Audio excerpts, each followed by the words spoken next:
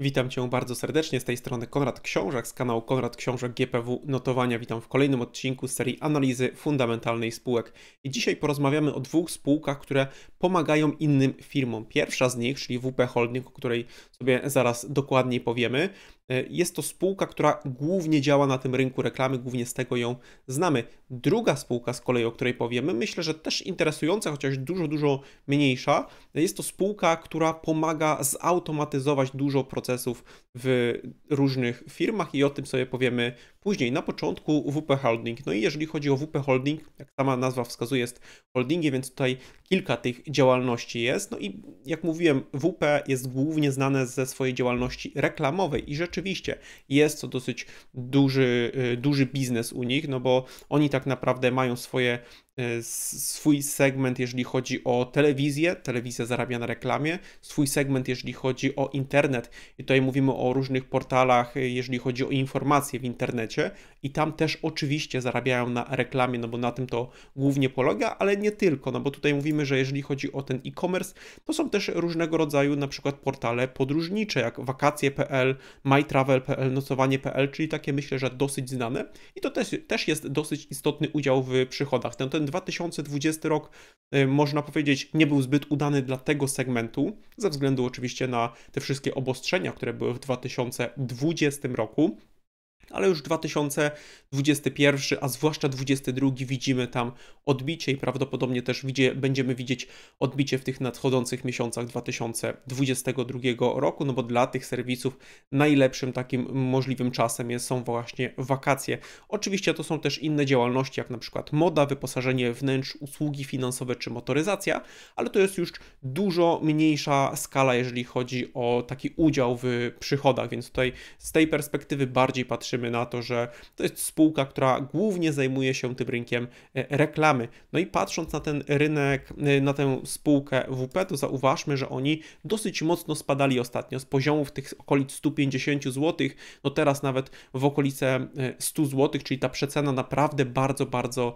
mocna. Oczywiście tam były też wysokie wymagania. Pamiętajmy o tym, że e, bardzo często spółka rośnie na mocy tego, że w prawdopodobnie w przyszło, przyszłości będzie zarabiała jeszcze więcej, więc te perspektywy spółki są dobre, czyli też oczekiwania od inwestorów są bardzo duże odnośnie spółki. No i jeżeli coś się niedobrego dzieje na danym rynku, to wtedy taka przecena rzeczywiście jest możliwa. Z czymś takim mieliśmy też do czynienia w przypadku spółki WP, bo jeżeli chodzi o te wyniki finansowe za 2021-2022 rok, nie możemy absolutnie mówić, że one są jakieś złe, bo widzimy, że pierwszy kwartał 2022 roku jest plus prawie 20% przychodów, plus 65% zysku netto, więc to jest wszystko naprawdę bardzo, e, bardzo dobrze to wygląda. Ten cały 21 rok też bardzo dobry pod względem wyników finansowych. E, no, dochodzili już do 900 milionów, jeżeli chodzi o te przychody. W 22 możliwe, że ten 900 milionów zostanie przekroczone przychodów.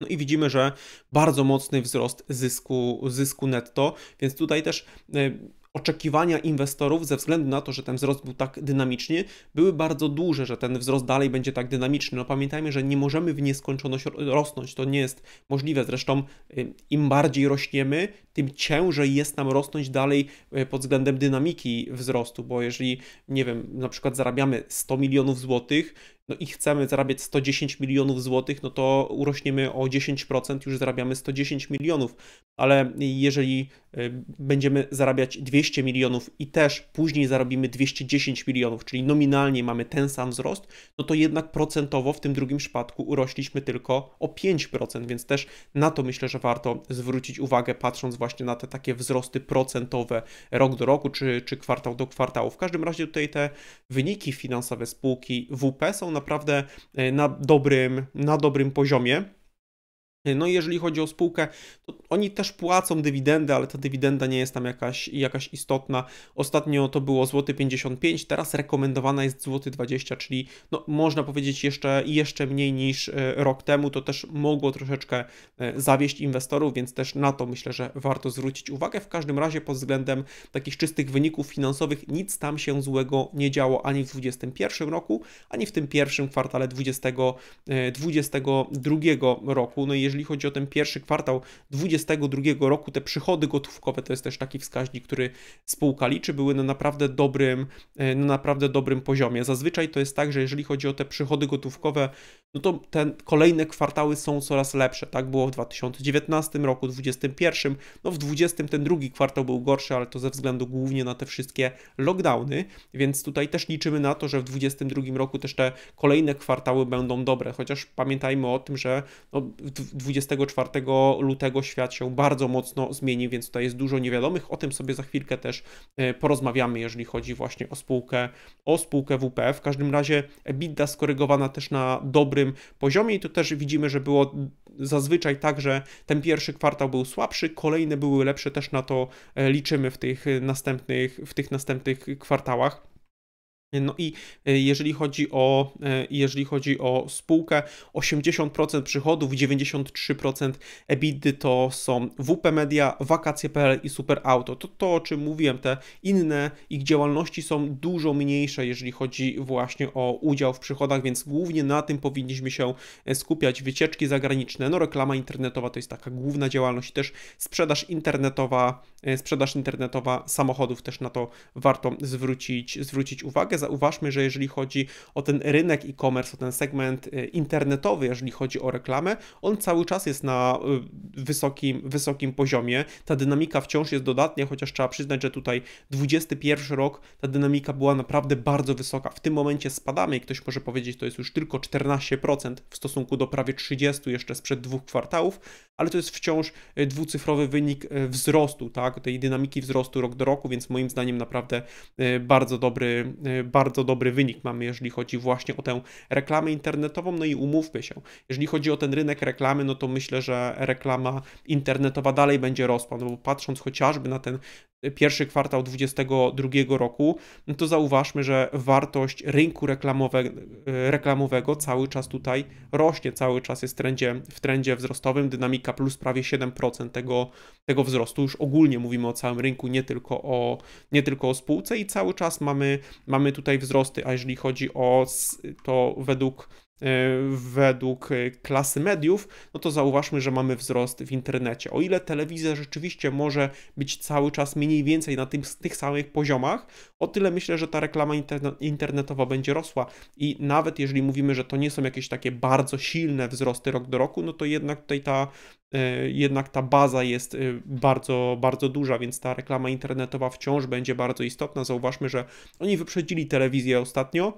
no i w tym momencie będą tylko zwiększali dystans między, między właśnie e, sobą a telewizją, więc tutaj patrząc na to z tej perspektywy, że WP jest właśnie głównie w tej reklamie internetowej, no to to jest jednak, jednak duży, duży plus.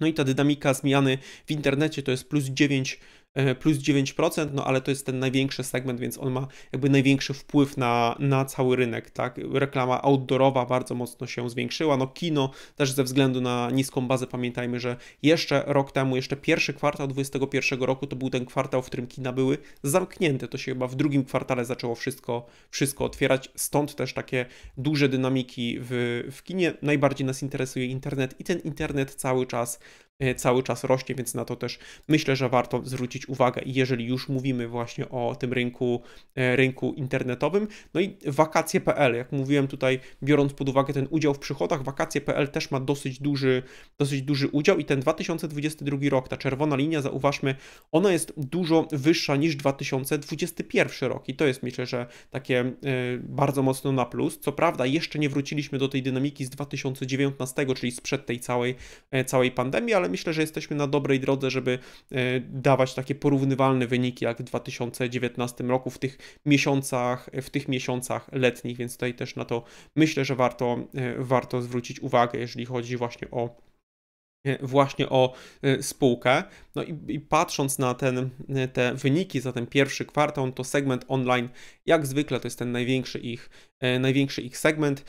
To, o czym mówiłem, ich, im najbardziej zależy na tym, żeby ten segment internetowy, segment online rósł i rzeczywiście on rośnie i biorąc pod uwagę e, wyniki spółki, one też właśnie rosną w tym segmencie, bo segment TV, tutaj mamy, mamy spadki, widzimy, ale to jest naprawdę taki pomijalny zupełnie segment. Ważne, żeby ten online rósł i on rzeczywiście rośnie, przychody plus 19%, skorygowane EBITDA plus 20%, więc na ten moment wygląda, że jest wszystko naprawdę bardzo, bardzo dobrze. No i zauważmy, że segment TV i online w tym momencie plus 18% rok do roku. Drugi kwartał będzie ciężki do pobicia, no bo zauważmy, że w tym drugim kwartale ten rynek to był 211 milionów złotych, plus 95% rok do roku. Duży wzrost, też ze względu na niską bazę, ale w, w 2019 roku no, też y, w porównaniu do 2019 roku mielibyśmy wzrost. Tam y, było coś z tego co pamiętam w okolicach 160 czy 170 milionów złotych, jeżeli chodzi,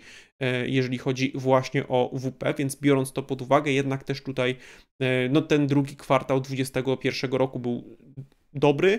No i przyznam, że moim zdaniem może nie ciężko będzie go pobić, ale jednak te dynamiki wzrostu już mogą nie być aż tak wysokie, tak bym to, e, tak bym to określił. I to czy to chodzi o przychody, czy to chodzi o tę EBITDA. Także ja się tutaj nie spodziewam się jakichś takich wysokich e, dynamik, jeżeli chodzi właśnie o, właśnie o ten drugi kwartał, ale też spodziewam się tutaj, e, spodziewam się tutaj wzrostów, jeżeli chodzi o, jeżeli chodzi o spółkę.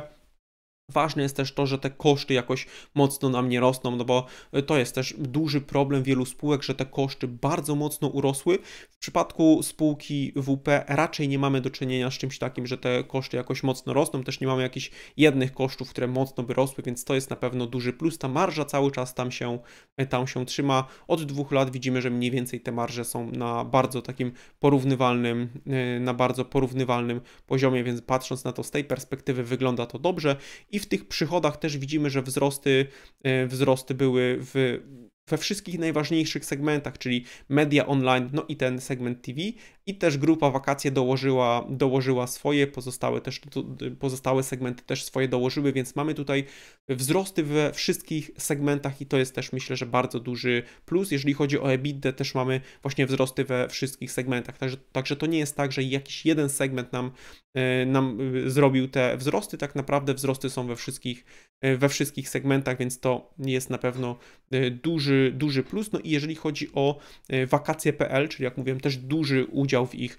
przychodach. Mamy tutaj porównanie 22 roku do 19, czyli tego ostatniego takiego normalnego roku i widzimy, że no ostatnio e, od e, tak naprawdę końca marca, w tym momencie mamy koniec marca, no to ten 22 rok jest lepszy niż 2019, więc znowu można się spodziewać e, dobrych, tutaj dobrych wyników za ten 22 rok, jeżeli chodzi o wakacje.pl, jeżeli chodzi jeżeli chodzi tutaj o super auto, też widzimy, że 22 w porównaniu do 21 jest, jest lepszy, więc no biorąc to pod uwagę, na pewno, e, na pewno te dynamiki też będą, e, będą dodatnie, więc to jest też duży, duży plus, jeżeli chodzi o spółkę. No patrząc na to, co się obecnie dzieje, to WP oczekuje jednocyfrowego wzrostu rynku reklamy w 2022 roku, a zwyżka przychodów dwucyfrowa, czyli mają po prostu rosnąć szybciej niż, troszeczkę szybciej niż, niż rynek i tutaj tutaj też spółka o tym mówi i całe środowisko o tym mówi, że ten marzec był taki niepewny na tym rynku reklamy, ale w kwietniu już widzimy całkowite takie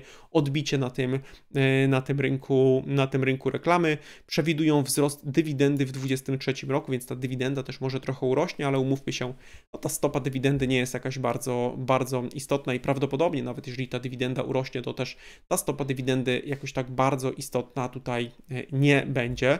E, no biorąc pod uwagę biorąc pod uwagę spółkę, przed wojną mieli 11-12 milionów użytkowników każdego dnia, pierwszego dnia wojny blisko 16 milionów, w pierwszych tygodniach wojny średnio 30% użytkowników więcej, więc tutaj ich e, serwisy odwiedza teraz więcej, e, więcej osób.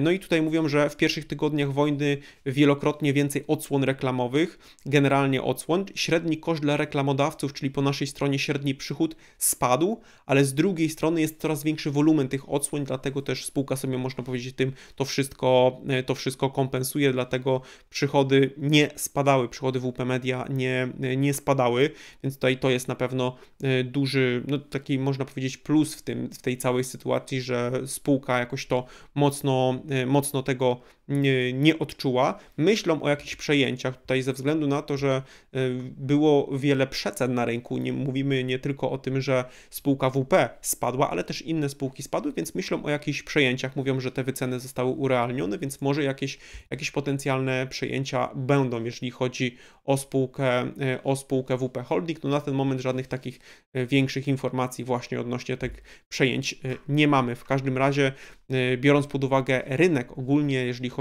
o reklamę, no to mieliśmy w, w, pierwszym kwartale te wzrosty, no ale patrząc na rynek reklamy samej telewizyjnej, w marcu spadł o 3%, a w kwietniu o 5%. No ten pierwszy kwartał telewizja spadła o 0,5%, czyli mamy jeszcze większe spadki na tym rynku telewizyjnym.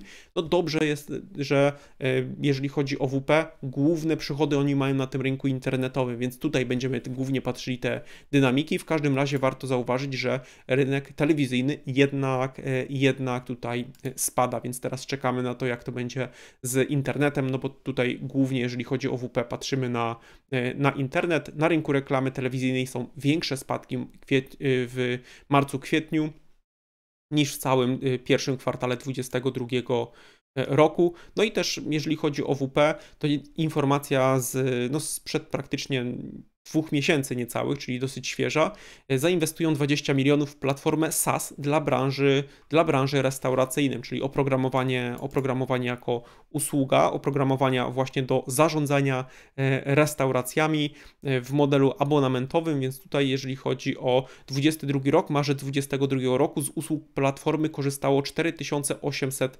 restauratorów, więc tutaj mówimy o tym, że ten rynek dostaw jedzenia głównie się zwiększa i na tym rynku próbuje też zaistnieć WP. Więc widzimy tutaj, że spółka cały czas, cały czas można powiedzieć, rozwija swoje, swoje portfolio. No na ten moment widzimy, że ewidentnie spółka jest wciąż w trendzie, w takim trendzie spadkowym, no i Ostatnio jakieś jest to zatrzymanie, jeżeli chodzi właśnie o, e, właśnie o spółkę, ale czy to jest koniec spadków w tym całym takim segmencie IT, w segmencie mediów, w segmencie tej informatyki? No nie jestem do końca, e, do końca do tego przekonany. Na pewno biorąc pod uwagę jakby same finanse spółki, raczej tutaj mocnego wpływu tego, tej wojny e, na finanse spółki nie powinno być negatywnego, więc to jest taki potencjalny plus, jeżeli chodzi właśnie o tego typu, o tego typu spółki, o chociażby spółkę Wirtualna Polska. W wynikach na ten moment nie widać niczego, e, niczego tutaj złego. A biorąc pod uwagę drugą spółkę też, o której chciałem dzisiaj powiedzieć, no to będzie spółka LST, LST Software. LST Software spółka, spółka o wiele, o wiele mniejsza od WP, no bo WP około 3 miliardy, jeżeli chodzi o tę kapitalizację. LSC 46 milionów niecałe, więc tutaj spółka no, o wiele mniejsza, bardzo mała spółka, jeżeli chodzi o polską giełdę. No i to jest spółka, która y, działa w gastronomii, hotele, kina, kioski, więc tutaj widzimy, że ten 20 rok na pewno był dla nich bardzo ciężki, ale już 21 to było to odbicie, 22 dalej mamy to odbicie. To jest między innymi ERP, czyli to jakieś zarządzanie, e, zarządzanie biznesem. Ogólnie biorąc pod uwagę jakby e, to, czym się zajmuje LSI Software, myślę, że można to tak podsumować tym, że pomagają jak najmocniej automatyzować biznes, to, żeby spółki nie musiały bardzo dużo ludzi zatrudniać do swojego biznesu, tylko właśnie, żeby poprzez automatyzację jakby y, mogli pozyskiwać klientów, a nie tracić, y, a nie musieli, żeby nie musieli zatrudniać jakiejś dużej liczby, liczby klientów.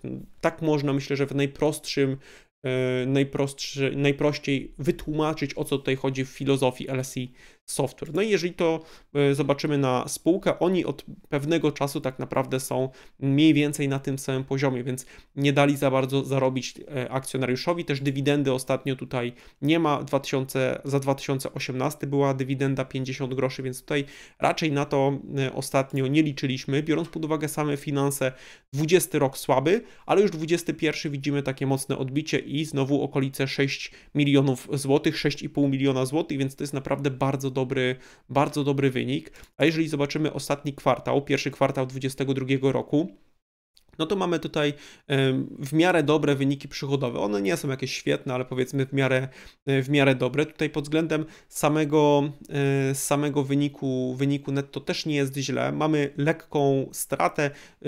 To jest spółka, która od czasu do czasu notowała taką kwartalną stratę. No pierwszy kwartał 2021 roku bardzo mocna strata, więc tutaj ciężko, e, ciężko to porównywać. Tutaj też były bardzo niskie, bardzo niskie przychody. Pamiętajmy, tak, były też lockdowny, więc ich klienci też E, też byli zamknięci i to jest na pewno duży minus. W każdym razie w tym momencie już widzimy, że praktycznie wszystko jest otwarte i to jest, e, to jest na, pewno, na pewno plus, jeżeli chodzi o spółkę. No spółka też e, tutaj warto dodać, że działa w różnych takich interesujących segmentach, na przykład rozpoczynają współpracę z Pudu Robotics. Jeżeli chodzi o Pudu Robotics, no to są mniej więcej tego typu roboty, jak na przykład tutaj widzimy w Pizza Hut, gdzie on no, zamiast kelnera donosi pizzę. I tym momencie my patrzymy na to bardziej jako ciekawostkę niż jako jakąś taką istotną informację, która może zwiększyć przychody, ale, no, ale kto wie za kilka lat, czy właśnie, właśnie to nie będzie coraz większy udział w ich przychodach.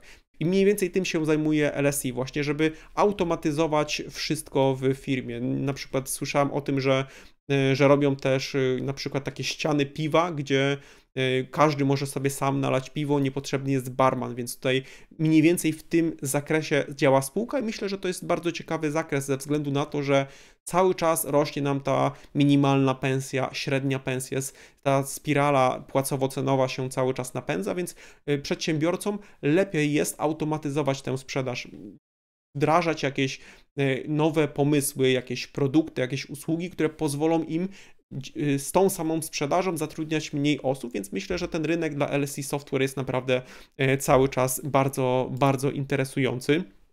No i tutaj od 2022 roku jest dystrybutorem tego, tych e, robotów Pudu, Pudu Robotics, więc tutaj mówimy o tym, że, że dopiero zaczęli tę współpracę, ale myślę, że, że, jest to, że jest to coś naprawdę, y, naprawdę ciekawego, albo będzie w przyszłości coś ciekawego. No co ciekawe, jeżeli chodzi o y, LSI Software, tam wciąż jakby jest możliwe to, że będzie na przykład rozwodnienie akcji, no bo e, ostatnio na walnym zgromadzeniu e, było taki jeden punkt o tym, czy przedłużyć uprawnienia zarządu do tego, żeby mogli rozwodnić akcje, bo wcześniej mogli to zrobić, ale nie skorzystali z tego. I teraz to im się kończyło, przedłużono im tę możliwość. Czy będzie jakieś rozwodnienie, czy nie?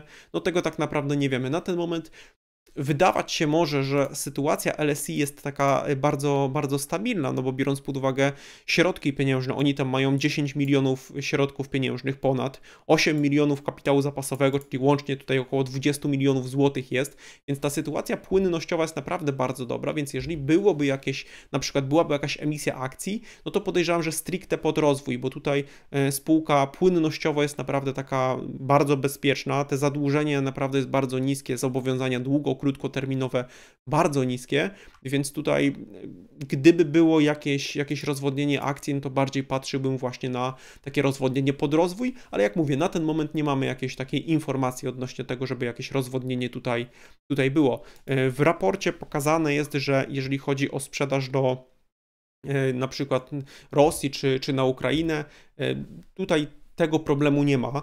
88% udziału w przychodach to jest kraj, 12 tylko procent eksport, z czego Unia Europejska 4, Stany Zjednoczone 5%, więc tutaj ten rynek wschodni dla nich nie istnieje, więc bezpośredniego wpływu negatywnego e, tutaj, tutaj nie ma, jeżeli chodzi właśnie o LSI. E, no też pytanie, co tutaj, tutaj będzie w najbliższym, e, w najbliższym czasie, bo oni też w 2020 roku dostali subwencję starczy finansowej 3,5 miliona złotych, no i teraz może będzie jakaś decyzja o jakimś części częściowym albo całościowym umorzeniu tej, tej kwoty. Jeżeli tak, no to to pozytywnie oczywiście wpłynie na ich wyniki finansowe. W drugim kwartale e, powinni mieć decyzję odnośnie właśnie odnośnie tego, czy będzie jakieś umorzenie tej, umorzenie tej kwoty, no to by mogło pozytywnie właśnie wpłynąć na wyniki, na wyniki spółki. No a e, z czego wynikała ta strata w pierwszym kwartale? No tutaj mówią o tym, że jest tutaj presja, presja płacowa, przełożyło się na wzrost e, przychodów, ale też no, ponoszonych ponoszonych kosztów i też negatywnie wpłynął na nich m.in. Polski Ład. Więc no, też tutaj mówimy o tym, że e, spółka no, to są takie problemy, które też będą w tym drugim kwartale i to jest, można powiedzieć, pewien minus, jeżeli chodzi o te, jeżeli chodzi o te, o te koszty. No w każdym razie pewnie spółka będzie to próbowała przerzucać na swoich klientów. Pytanie, czy jak to wygląda, jeżeli chodzi właśnie o ich umowy, no bo oni mają umowy z dosyć znanymi sieciami, chociażby, nie wiem, z Żabką mają różnego rodzaju umowy, czy oni mogą to tak szybko renegocjować, żeby, żeby właśnie ten no, wzrost kosztów, wzrost płac między innymi przerzucić na klienta. Tego nie do końca jestem, jestem pewny, no ale ogólnie jeżeli chodzi o e, produkty, o skalę działalności, tutaj raczej o LSI e, nie mam, nie mam obaw. Biorąc pod uwagę to, co się dzieje na Ukrainie, też się do tego odnieśli w raporcie, mówili o tym, że nie mają żadnych inwestycji, ekspozycji na Rosję, Ukrainę, e, więc tutaj biorąc pod uwagę, pod uwagę taki bezpośredni wpływ, no jak mówiłem, jego w tym momencie, w tym momencie tutaj, e, tutaj nie ma. W każdym razie, jeżeli chodzi o spółkę, skala działalności, wzrost skali działalności moim zdaniem jest możliwy, ale myślę, że bez jakiegoś takiego efektu, e, efektu wow. No co prawda spółka LSI Software jest wciąż taka no, bardzo nisko wyceniana jak na ten segment informatyki, ale pytanie też, czy, czy oni mogą jakoś tak mocno y, zwiększyć skalę swojej działalności bardzo szybko. Moim zdaniem to będzie takie bardziej sukcesywne, lekkie zwiększanie skali, skali działalności, bo jak mówię, ta działalność, e, ten model biznesowy pozwala się bardzo fajnie tutaj skalować, jeżeli chodzi o LSI Software. Trochę obawiałbym się o te, o te marże, czy one będą, będą utrzymane, bo zauważmy też, drugi kwartał 2021 roku, to tutaj pozostałe przychody 3 miliony złotych, ale ogólnie łącznie ten wynik netto 7 milionów złotych, więc obawiam się, że e, ten kwartał może nie zostać przebity. 16 milionów złotych przychodów, więc tak myślę, że, że drugi kwartał będzie, będzie słabszy od drugiego kwartału 2021, ale ogólnie tak biorąc pod uwagę kierunek spółki, myślę, że jest naprawdę bardzo, bardzo interesujący. Także no w krótkim terminie trochę bym się obawiał o ten drugi kwartał. Raport półroczny dopiero na koniec, koniec września, więc e, to jest coś, gdzie, gdzie spółka może, może być na minusie tak rok do roku, tak, e, tak, mi, tak mi się wydaje, aczkolwiek jak mówię, w perspektywie kilkuletniej myślę, że rynek cały czas będzie się zwiększał, także spółka na pewno w takim dłuższym terminie, takim dłuższym terminie bardzo, bardzo interesująca. To jest wszystko, co chciałem dzisiaj powiedzieć. Standardowo wszystkim życzę samych zysków, no i słyszymy się, widzimy za tydzień. Cześć.